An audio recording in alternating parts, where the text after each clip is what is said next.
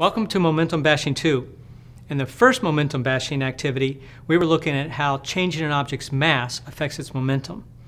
However, we realized there was a flaw in our design using that variable of mass. We noticed that the marbles didn't quite work out so well. If we would have had four different sized marbles, each successively greater mass, it would have worked much better. But those marbles are kind of hard to find. So I asked you in the very last question, how else could you increase an object's momentum besides increasing its mass?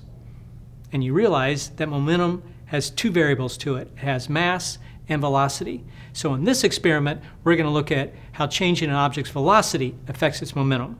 So let's look at our materials. You have your activity sheet, okay, front and back.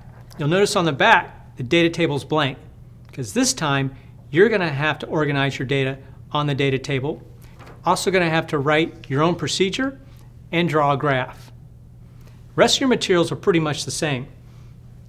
You have your meter stick that's going to measure how far your cup goes when the marble hits it. You have your ruler with a groove in it. Now you're using just one marble. But you have to increase this marble's velocity to see how it's going to affect the momentum.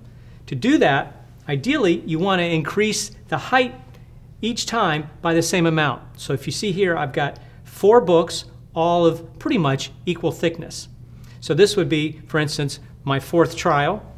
So I'd set my marble up at the top, cup right down there, make sure your meter stick's aligned just like in the first investigation, and let it rip. All right, have fun with Momentum Bashing 2.